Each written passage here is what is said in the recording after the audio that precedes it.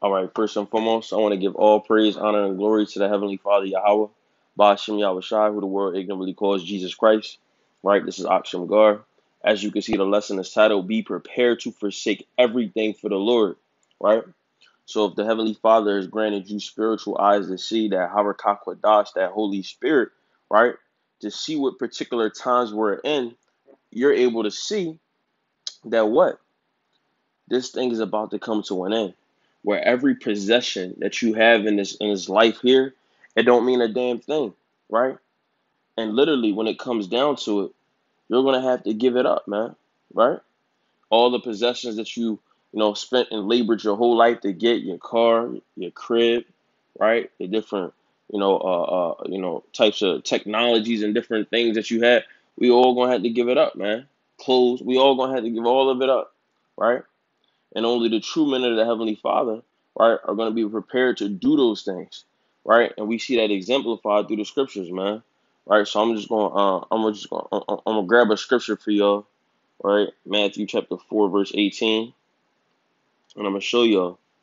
Right, I should already be familiar with this. Right, and it says, in Yahushua, walking by the Sea of Galilee, saw two brethren, Simon called Peter and Andrew his brother, casting a net into the sea, for they were fishers." Right, Y'all know y'all should know who Andrew and P, uh, like it, uh, Peter and Andrew was, right? And it says, and he saith unto me, Follow me, and I will make you fishers of men, right? And they straightway left their nets and followed him. So that's the point, right? A true man of the heavenly Father, right, is going to drop everything for the Lord. Now it's just saying that in this particular time right now, where you know you still got to pay bills and stuff like that right here, you know, until they, you know, uh, uh, start mandating certain things and start forcing that MOB, right? No, you still got to go to work and pay your bills, and so that way you can go out on the highways and byways, or you know, do, do whatever you call to do in this ministry, right? You still got to operate. It's not saying that, but I, what, what the message that I'm trying to push across is the fact that when those things are mandated, right? That orange juice is mandated for you to get in order for you to get the work, right? Or you have to have that MOB in your uh, in your right hand or on your forehead in order to go to work or pay bills or live in this society, you're gonna have to forsake it all, man. You're gonna have to give everything up. So you gotta start living in that mindset where you're starting to be detached from certain things, man. Right? Start going without certain things, man. Start having a level of detachment with you and your family to a certain extent, man.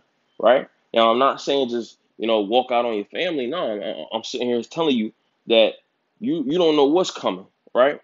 So at the point the point the point of the matter is you don't want anything to hinder you from serving the Lord. You have to have that mindset of preparedness that hey, shit, I might have to give all this stuff up. You know what I mean? And that's literally the, uh, that's a great mindset to have, man. A, a level of mindset like where, where you where you where you really don't care about the things that you really got. You're content with what you got, right? But if you lose it all, fuck it. That's the type of mentality you need right? Let me keep going. It says, And they straightway left their nets and followed him. And going on thence, he saw two brethren, James, the son of Zebedee, and, and John his brother, and a ship with uh, Zebedee their father, mending their nets. And he called them, and they immediately left their ship and their father and followed him. So the point is, their father, right? That's their family, correct? But the point is, they was willing to drop all that, their family, they, they, they, they, they possessions, they job, everything for the Lord, man, right? Because if you do that for the Lord, he's he, he's going to reward you for that, man. Right? Let me get this for you. The book of Luke, chapter 18, and I'm going to grab 28, right? Check this out. It says, Then Peter said, Lo, we have left. So you saw how so you see how Peter just left everything, right? Now check this. Then Peter said, Lo, we have left all and followed thee, and said unto and said unto them, right? And he said unto them, Verily I say unto you, there is no man that have left house or parents or brethren or wife or children for the kingdom of the Most High sake, right? Who shall who shall who shall not receive many fold more in this present time, and in the world to come life everlasting. So the heavenly Father gonna reward us greatly, man. But the time is coming where you might have to, you know, uh, uh, you know, go without a lot of stuff, man. Now, of course, the Lord is going to provide for His men. You know, you read that in the book of Isaiah, chapter sixty-five and thirteen. his servants shall eat and drink, and you're gonna be rejoicing, right? You going you gonna have the essentials for life. But the point of the point of the matter is, if you're holding on to your possessions, if you have that carnal mind, right, or you don't want to give up those possessions, right, or or, or, or certain certain you know different things and certain pleasures, you can't serve the Lord, man. You're not fit for this, right? Because you see how a man of the Lord is going to deal when it comes to the Heavenly Father, right? When it comes to serving the Heavenly Father, he's going to drop it all, man. Say, fuck it. Fuck this. Fuck, forget the society, everything, man. Forget it. It's about this word, man. It's about this truth, you know? You can't be no coward in this thing, man. You got to have a heart of a lion, man, right? Let me keep going. Luke chapter 14, verse 33. It says, So likewise, whosoever, it's like it, so likewise, whosoever he be of you that forsaketh not all that he hath, he cannot be my disciple. So, like I said, man, the time is coming, right? Me personally, I still got a car, still got a crib, right? I still got, you know, my, my, my you know, my, my, my situation at the at the crib and everything like that, right? But the point is, right, when it comes down to it, and I can't have this anymore. The job man, my, my my job mandates that I have to take that orange juice, man. Right? I have to quit that job, man. I have to say hell no, right? Or when or when society starts to say that, you know, mandates that, yo, y'all got to take this MOB in your right hand or in your forehead. I have to say hell no, man. I have to t- detach myself from society. But if my heart, right, is is attached to the attached to the goods that I have in this world, man, I'm not gonna do that. And this is why I have to, you have me and you both, we have to practice a certain level of detachment from the things that we have and the people that we have in our life, right? Now, it's not saying that at this point in time you can't enjoy your wife or your children, but what if, what if something, what if the Lord re- requires their spirit because they might be a hindrance to you in those times? If you, if you have such a, a certain uh, attachment to it, that shit might break you, man. It might break you. So it's to the point where it's not saying that you don't love your family, but you have to practice a certain level of detachment. You got to be a little bit more reserved with them, man, right? Because if that time comes, the Lord might require them and their spirits, and that, and that might be the Lord showing them mercy. But you, you know, uh, through a carnal eye, right? You might see it as such like, damn, you know, was that, you know, uh, uh, uh they, they, they, they did. I'm, uh, they're going for me, right? I'm separated from my family, right? And this is why we always have to remain spiritual because we we're, we're able to discern the difference between judgment and mercy, right?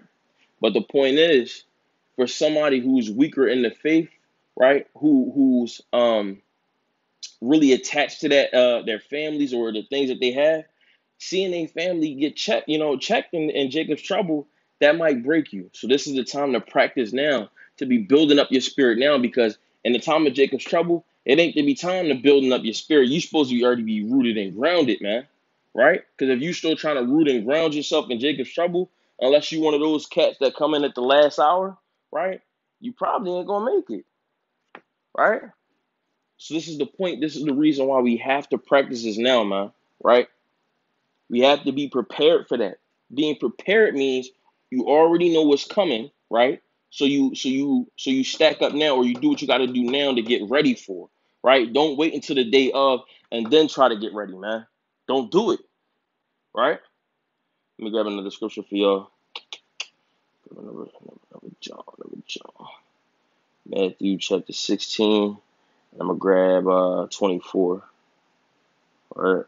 It says, Then Yahweh Shai said to uh fuck it, then Yahweh Shai unto his disciples, right? Said unto his disciples, If any man will come after me, let him deny himself and take up his cross and follow me.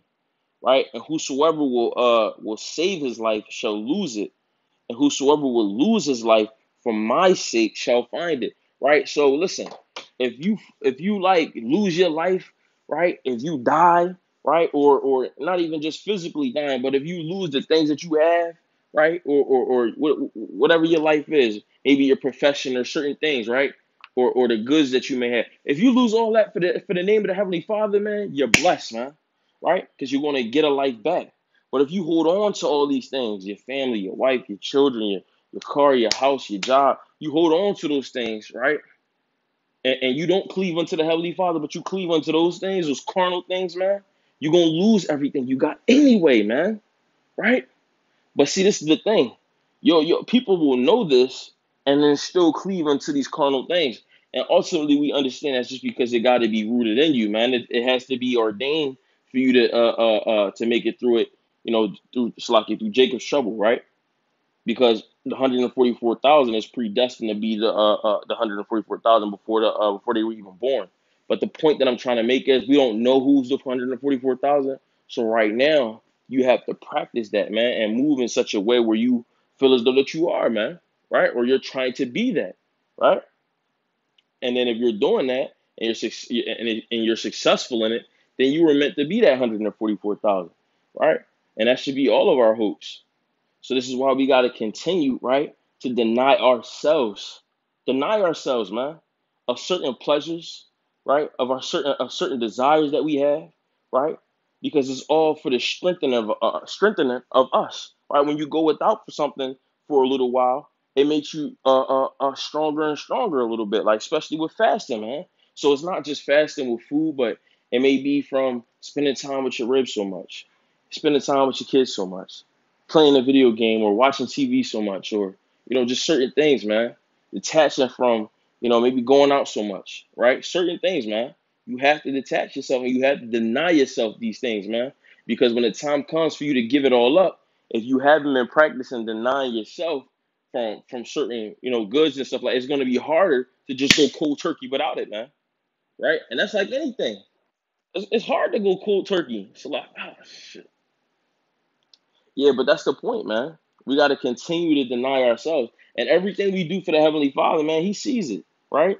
Let me grab this precept for you, right? Hebrews chapter 6, and let me get verse 10. It says, For the Most High is not unrighteous to forget your work and labor of love, which ye have showed towards his name, and that ye have ministered to the saints and do minister. So everything that you do for the Heavenly Father, man, right? Everything that you've given up and, and, and to, to, to, to the uh to make his kingdom come to fruition, right? The Heavenly Father's, right?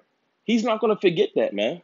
He's gonna bless you and he's gonna reward you for doing everything that you did and everything that you put in, all that work, right? And a part of that work that you put in, guess what's going to happen from that work, man? Let me show you because when you have works, right, you have faith. Second Ezra chapter 9, verse 7. And everyone that shall be saved and shall be able to escape by his works, right? And by faith whereby ye have believed. So that's the point, man. When Jacob's trouble come, you may be one of those, right? That shall not taste the death. Right? Let me get that. Let me let me get that. Back in Matthew 16. Right? It says right here, it says, let me just read it from the top because I like this part too. It says, For what is uh for what is a man profit if he shall gain the whole world and lose his soul? Or what shall a man give in exchange for his soul? That's self-explanatory.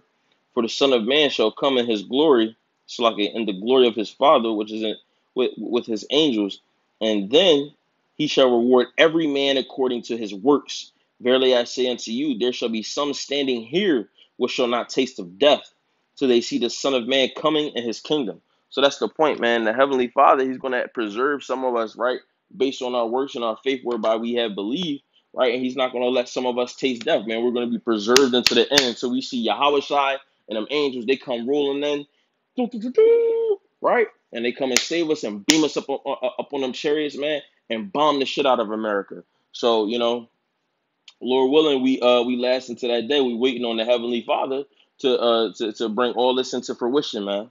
Right? Because for right now, you know, we, we sitting tight, you know, staying diligent, staying fervent in the spirit, right? Continue to push this truth to the four corners of the earth because we know in the book of Matthew, it says once once this uh this truth has been spread to all four corners of the earth, man, then shall the end come. So that's we that's what we waiting for. We waiting for the heavenly Father to pull that trigger, man. And when He does, we gonna be ready, man. So with that, man, I hope that you Akim and Akwathium, right, were edified, exhorted, and comforted. And with that, I want to say Yahweh Ba Shem Yahweh Shai Barak Thumb, Shalom.